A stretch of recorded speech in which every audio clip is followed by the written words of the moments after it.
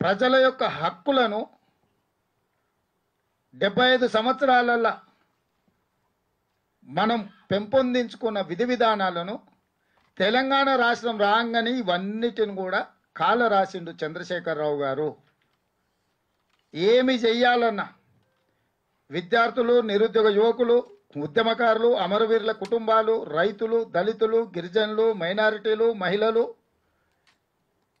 పాత్రికేయ మిత్రులు అందరినీ వర్గశత్రులుగా చూడడం మొదలుపెట్టిండు.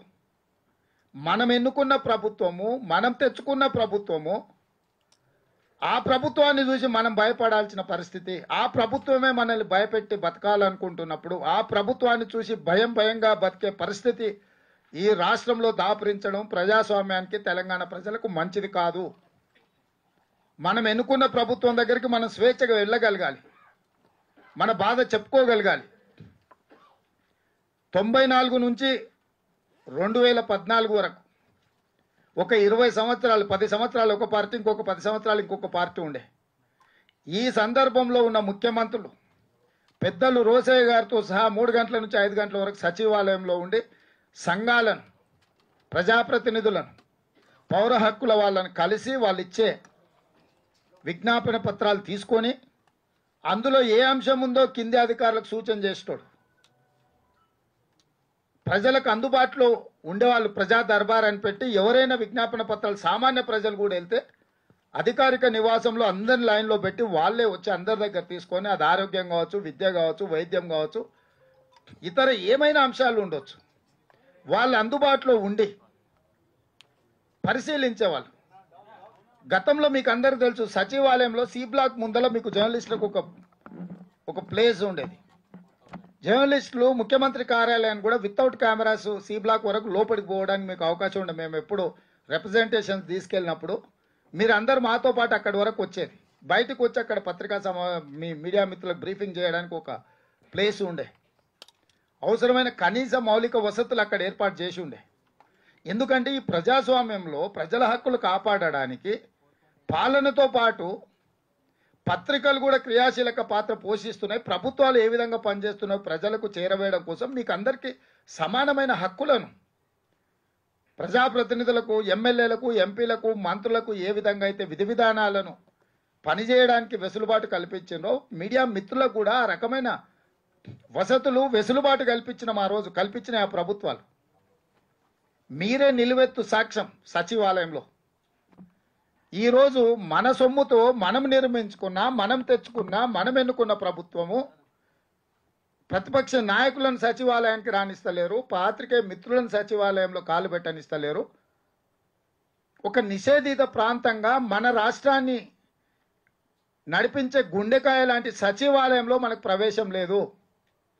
ఉవ్వెత్తున తెలంగాణ ఉద్యమం లేచినప్పుడు కూడా ఇంత నిర్బంధం లేదు.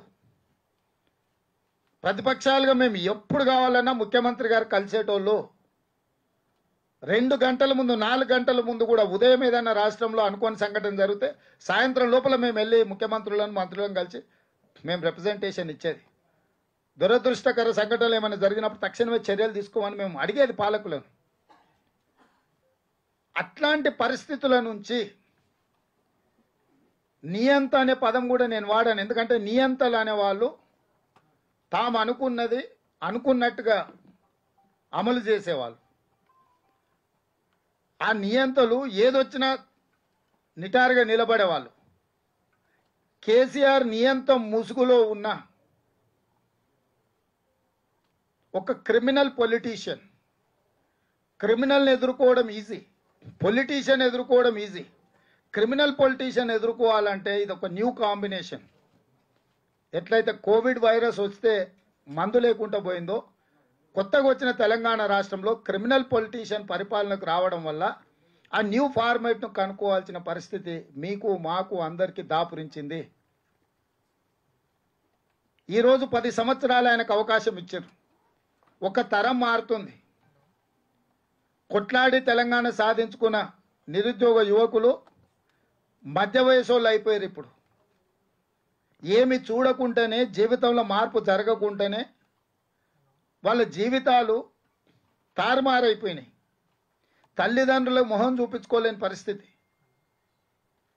ఆత్మహత్యలు చేసుకున్న అమ్మాయిల మీద కూడా ప్రభుత్వమే తప్పుడు ప్రకటనలు చేసే పరిస్థితి వచ్చింది.